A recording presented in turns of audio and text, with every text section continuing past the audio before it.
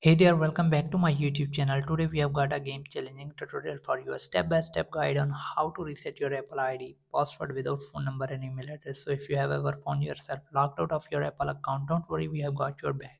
We know it can be a bit nerve-wracking when you can't access to your original recovery option.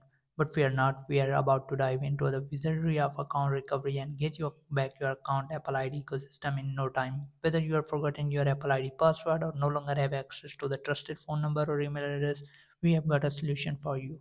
So before we start the video, hit the like button and subscribe to the channel for more upcoming videos. So if you have bought a just second-hand device and there is the Apple ID associated with the iPhone, now you want to remove it because you want to sign on your Apple ID, but you don't have the trusted phone number to get the verification code on to reset your Apple ID password.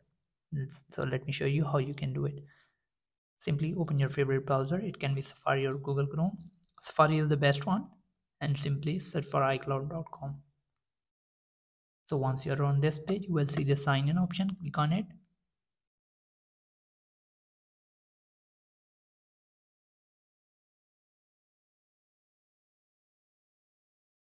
and if you see this click on use different apple id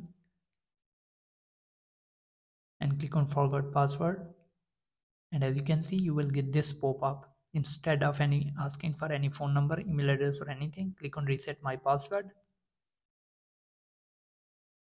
Now it won't ask for you to enter anything not a verification code nor a phone number or email address just your iphone passcode. Enter the passcode of your iphone and it will take a few seconds to verify the passcode and will give the option to change your Apple ID password.